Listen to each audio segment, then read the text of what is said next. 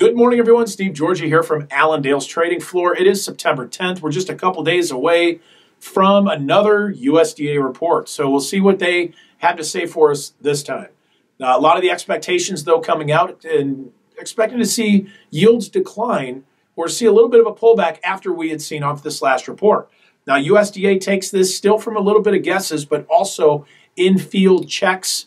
Uh, and so when you look at that, some of the expectations are about a one to two bushel decline here for corn, uh, and maybe a one to two bushel decline for beans as well. We may end up seeing bean carryout on this report actually slip below that 700 million carryout number. So we had seen that balloon to over a billion, and now down below 700 million. We'll see what the market wants to do with that. Now for corn, almost 2.2 billion carryout on that last report.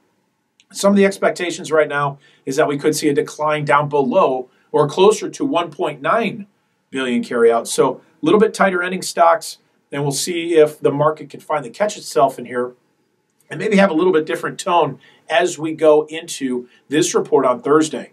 Good excellent ratings dropping uh, 3% for corn. That gave a little excitement overnight. Corn up about four overnight. Beans a little bit stronger as well, keeping good excellent ratings at 55%.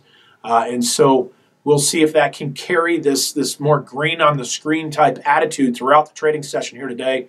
And we'll see what kind of feel we get here as we go into this report on Thursday. Other news, very, very limited.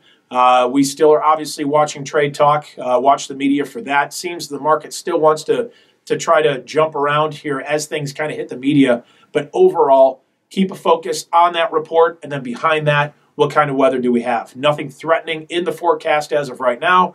Don't expect to see anything here yet. We've got a very warm period that's coming through the Midwest uh, over the next week. But behind that, do we see colder temperatures or not? That will drive this market either direction. But the focus will be the report on Thursday. So keep in touch with us. We'll bring you what, what we have as well.